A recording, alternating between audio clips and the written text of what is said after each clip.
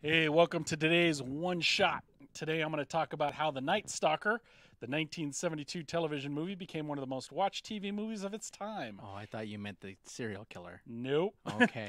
Uh, it was before the serial killer. It spawned a sequel and several TV shows. That's right, several. TV Several, a bunch. That's that's a lot. That's a bunch, right? That's a few. So uh, in the early '70s, Dan Curtis, probably best known before this for the uh, for the supernatural soap opera Dark Shadows. Mm. Um, The Johnny Depp film, yes. that's terrible. man. Dan- Was it? yeah. Dan, well, I don't know. I didn't see it. Dan Curtis hired Richard Matheson to write it, and ultimately hired him to write the sequel as well. Richard Matheson. We're gonna get to who he yeah, is. Yeah. If you don't know who Ah. he is, you're you gonna find out? You're going to find out. It was based on the then unpublished novel by Jeff Rice titled The Kolchak Papers, also known as The Kolchak Tapes. Um, it aired on ABC on January 11th, 1972, as their ABC movie of the week. And believe it or not, in 1972, it dealt with some pretty taboo topics on television, but in such a way that if you're not paying attention, you're going to miss them. For instance, unfortunately, the vampire's first victim was a lesbian who lived with another woman. Oh. Um, in the the, the in the- in the sequel, Uh-huh. it's actually right out there. It's clear, There's- clearly that there's, there's one of the women that Mm. lives with another woman. Yeah. okay. Um, it showed Las Vegas as a city and not just a resort. Um, it takes place in Las Vegas, if you didn't know. Was this back when the strip was just like the same Oh, eight yeah. casinos? He drives Yeah. down it quite a bit, and it's Oh. pretty. It's, there's like nothing there. Yeah. Um, it's it's gritty realism of the horrible egocentric nature of people. Um, the Night Stalker garnered the highest ratings of any TV movie at that time, a 33.2 rating and a 48 share. If you're familiar with TV numbers, I imagine those mean something. I, I that that is a, that sounds like a lot. It sounds like a lot, Sounds right? like a lot. All right. Um, the sequel, The Night Strangler, also garnered high ratings, and they actually plan on the third single, sing, ah, the sir, third sequel called The Night Killers. Mm. However, that got scrapped, and they actually turned it into the television show, which most people know of, The Night Stalker.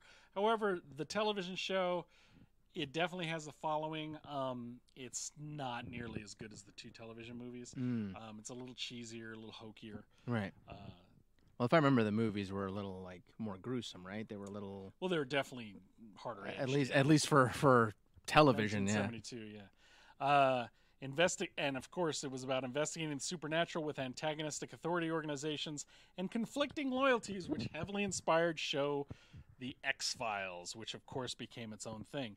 They also tried to do a relaunch of uh, The Night Stalker in the 2000s. Early two thousands, I remember. with, yeah. uh, Stuart Townsend. It never went anywhere. So you may be asking, why is it so good? Oh, hold on. Why is it so good? Uh, you I know, mean, I know why, but even they though, don't know yeah, why. even though the vampire was basically kind of a generic Dracula, with a pretty excuse me, with a pretty direct modus operandi, and he was the villain of the piece, but he was also really just the MacGuffin. He Mm. wasn't the real antagonist. It was um, the real antagonist were the government officials. right. Um, the fact that they were, first of all, astounded that it was a real vampire, or the more the more serious things got, and the more out of control this killer got, and they could do nothing about it. And Kolchak, meanwhile, is just pounding into him that this is a vampire, and you're not going to stop it unless you follow my guidelines. Um, they're increasingly embarrassed by that, Right. and of course, when push comes to shove, they really don't treat Kolchak very fairly. Now, one just real quick, so, Yeah. so I can throw this in here.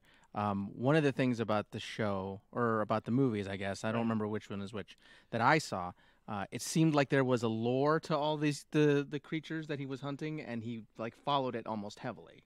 In the show, In yeah, the- in the show, right? yeah, Okay. the show. Yeah. Okay. I mean, so he it was a did he did study the vampire in the in the first movie. You know, basic vampire myths and lores. He, you know, the Night Strangler was a little different. You'd have to watch that one. That one's also very Mm. good. I don't think it's quite as good as the Night Stalker, but it's still very good. Um, it was also a variation on themes from Matheson's own 1954 vampire novel, I Am Legend, about the mythology of vampires conflicting with the real world. which was written after the Will Smith movie came out. Uh, you know. It wasn't. I'm kidding. So yeah, the Night Stalker. It was just it was groundbreaking in a lot of ways. Um, Mm. You know, Dan Curtis seemed to be at the time the only guy doing this kind of stuff. Uh, nobody really wanted to treat any of these topics with any kind of seriousness. hmm Um, you know, Night or Dark Shadows was doing well. Uh, I will say for uh, a show from like the '70s about hunting monsters, it Right. was not the camp fest that it could have been, or right. I mean, at least for the things of the time the movies weren't. No, Right. no. The show, yeah, a little bit, but the movies were not. Uh, you know, and hiring hiring Robert um, Richard Matheson was a genius stroke. Um, you know, he wrote I Am Legend at the time. It was the second best-selling vampire novel after Dracula. So I mean, clearly a lot of people had read his work. He's known for a lot of other things. You should just Google him. The guy's amazing. Mm. Um, and he didn't just write horror. He's oh, lovely. He oh, there we go. He didn't just write horror. Sorry, a little technical glitch. Apologies. He didn't just write horror. He actually uh, uh, wrote the oh my goodness. Um, what was the movie that Robin Williams was in where he basically dies and um, jeez. Oh yeah, yeah. Uh, what dreams may come? What Dreams May Come. He actually also wrote that. Uh, apologies. Now, in his book I Am Legend, though, and this is I'm I'm, I'm gonna come I'm gonna make a circle here. Even though it's technically a vampire novel and they're called vampires, they Mhm. behave much more like modern Romero-esque zombies. Yeah. And that being said, by Romero's own admission, the book I Am Legend heavily inspired Night of the Living Dead. So a lot of Right. people love to say that you know George Romero's the father of the father of the modern zombie, but really Richard Matheson is the mother. Right. If Romero's the father, Matheson's the mother. I mean, even so much of the story elements of zombies, like swarming groups of zombies, were like from Matheson's book. Right, right. Yeah. So, yeah, you really, you know, if you have not seen The Night Stalker, if you're at all curious at early TV movies and actually an early depiction of Las Vegas, a really empty depiction of Las Vegas. Yeah, it's not the same. Um, yeah, definitely give it a view. Um, it's out there. Uh, they just released a Blu-ray copy, I think, a year or two ago. Ooh. Really good stuff. Anyway, that's all I got. Any- Okay. Any, questions?